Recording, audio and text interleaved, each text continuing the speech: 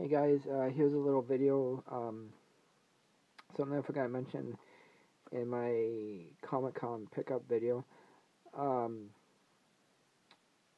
sorry if my voice is kind of horsey, I think I might have catch someone's cold.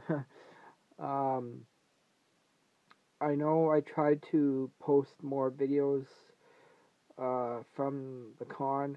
Um, I tried to record the the three Q and A's that they had, um, but fortunately my phone was acting up. Um, I was able to get a few minutes a few minutes of each of the Q and A's.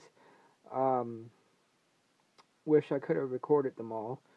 Uh, the first one that I tried to record was the Ron Perlman one on Saturday. Um, I was going to ask him a question, but being it would have been the first time that I did, uh, I was kind of nervous. Um,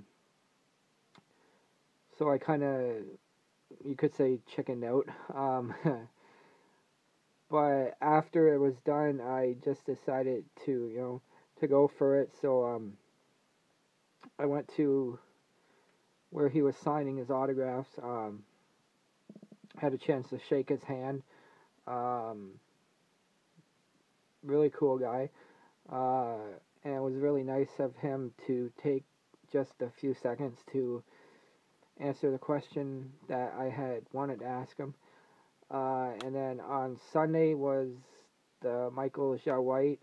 Uh, again, I couldn't get my phone working, so I could only uh, record a few minutes of it. Um, but by the end of his Q and A, uh, I actually did ask him a question. Um, fortunately, I wish I could have recorded it, but you know, again, my phone I could not get it working.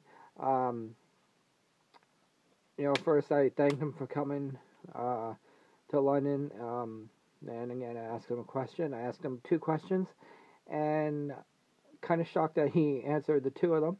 Um, and again, I went afterwards to where he was signing, you know, uh, had a chance to shake his hand um, and told him that, you know, I really enjoyed that the movies that he was in and that it was actually really cool to meet him. Um, so that was the experience that I had uh, for the Q and A's that I went to. Um, hopefully by the night the next time uh, I can get my phone working and actually record whatever actor comes next. Um, hopefully next time I will also be able to get at least a couple autographs. Uh, so if you like this video, can you uh, leave a thumbs up, a comment, and subscribe. Thank you.